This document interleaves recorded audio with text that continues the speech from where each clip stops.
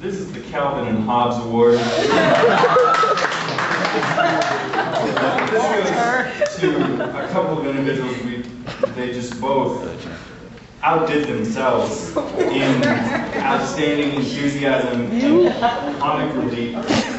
They You and Walter. encouraged me daily, both the guys, especially the guys in my OJ wing. and I was encouraged daily, every afternoon, every evening, pretty much all the time.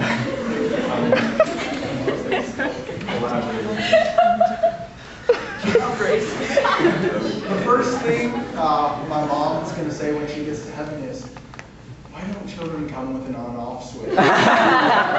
and um, this week I, I found out what that meant um, when, I, uh, when I met somebody who made me laugh and cry and cry some more with the help of his teammates. Um, so, uh, ladies and gentlemen, give it up for Matthew Cantrell. Go Matthew!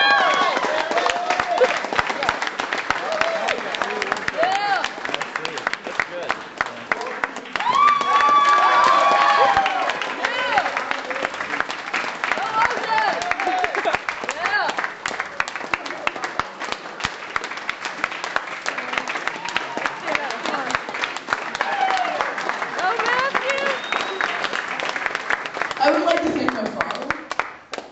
Introduce this, please.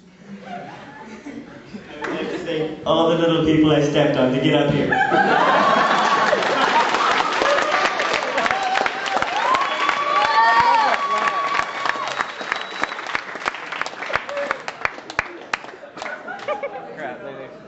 funny thing about that award, yeah, it's, it's, it's on one sheet of paper, so they got. Now we're stuck